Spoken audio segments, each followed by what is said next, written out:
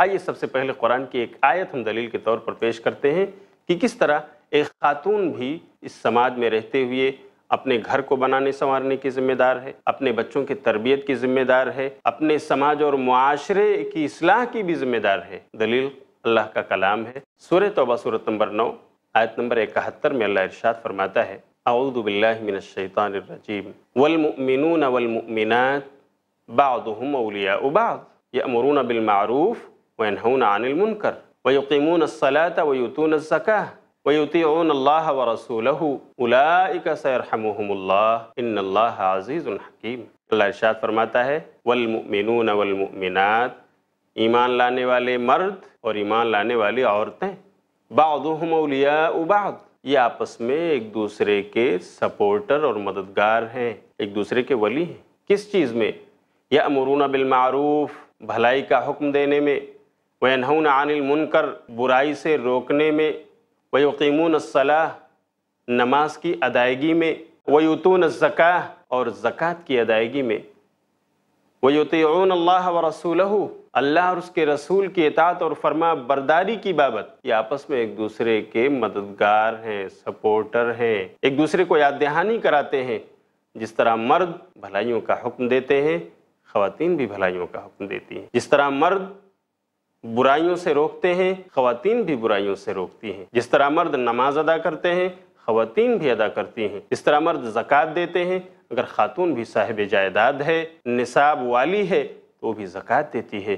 جس طرح مرد اللہ اور اس کے رسول کی باتیں مانتے، اس کی فرما برداری کرتے ہیں، ایسے خاتون بھی کرتی ہے اللہ نے خبر دیا ہے، لیکن یہ خبر بے معنی امر ہے۔ اللہ نے یہ خبر دے کر بتایا ہے کہ ایسا ذمہ داری ہے جس طرح مرد بھلائیوں کا حکم دیتے ہیں، عورتوں کو بھی دینا چاہیے۔ جس طرح مرد برائیوں سے روکتے ہیں، عورتوں کو بھی روکنا چاہیے۔ جس طرح مرد نماز پڑھتے ہیں، عورتوں کو بھی پڑھنا چاہیے۔ جس طرح مرد زکوٰۃ دیتے ہیں، اگر عورتیں صاحب نصاب ہیں، مالدار ہیں، صاحب جائیداد و پراپرٹی ہیں تو ان کو بھی زکوٰۃ نکالنی چاہیے۔ جس طرح مرد اللہ اور اس کے رسول کی باتیں مانتے ہیں، ایسے خواتین کو بھی اللہ اور اس کے رسول کی فرما برداری کرنی چاہیے۔ پھر اللہ کہتا ہے اولئک سیرحمہم اللہ۔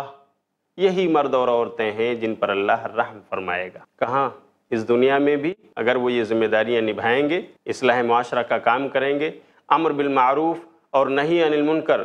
بھلائیوں کا حکم دینا اور برائیوں سے روکنا۔ اگر یہ فریضہ وہ انجام دیں گے، تو اللہ رب العالمین ان پر یہاں بھی رحم فرمائے گا۔ اور انشاءاللہ کل قیامت کے دن میدان حشر میں، جب قیامت برپا ہوگی، اللہ وہاں بھی ان پر رحم فرمائے گا۔ ان اللہ عزیز الحکیم بے شک اللہ غالب، حکمت والا ہے۔ یہ دلیل ہے اس بات کی کہ مردوں کے ساتھ ساتھ خواتین بھی اصلاح سماج کی ذمہ دار ہے ایک حدیث بھی سن لیجیے، صحیح مسلم، کتاب الایمان۔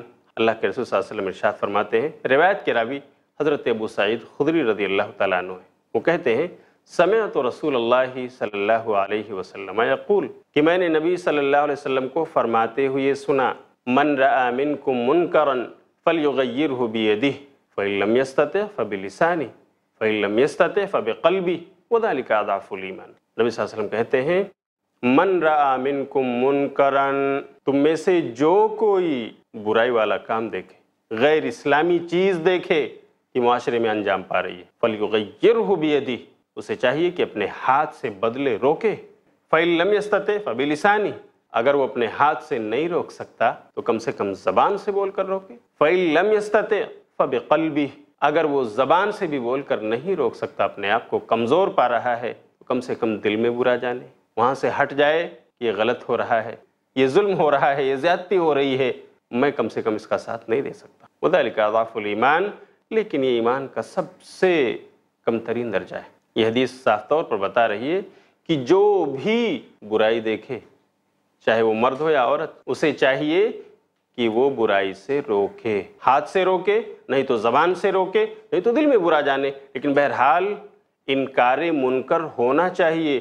اس برائی کو روکنے کی کوشش ہر ایک کی ہونی چاہیے۔ جس طرح مرد اگر وہ برائی کو دیکھتا ہے، اس کا کام ہے کہ وہ برائی سے روکے۔ ایسے ہی خاتون اگر معاشرے میں، اپنے گھر میں، اپنے بال بچوں میں ایسی کوئی برائی دیکھتی ہے جو واقعی غیر اسلامی کام ہے، تو اسے چاہیے کہ اس برائی سے اپنے بچوں کو روکے، اپنی بہنوں کو روکے، اپنی سہیلیوں کو روکے اور اس طرح سے اصلاح سماعت کا فریضہ انجام اللہ کے دین کی دعوت اور لوگوں تک پہنچانے کے لیے اس ویڈیو کو ضرور لائک، شیئر، کمنٹ اور سبسکرائب کریں۔ آپ کے اس چینل کو اور بہتر بنانے کے لیے آپ کا ساتھ ضروری ہے۔ آئی پلس ٹی وی بہتر زندگی کے لیے۔ اپنے کیبل یا ڈی ٹی ایچ آپریٹر سے آئی پلس ٹی وی آج ہی ڈیمانڈ کریں۔ I plus T V free to air اور انڈین رجسٹرڈ چینل ہے۔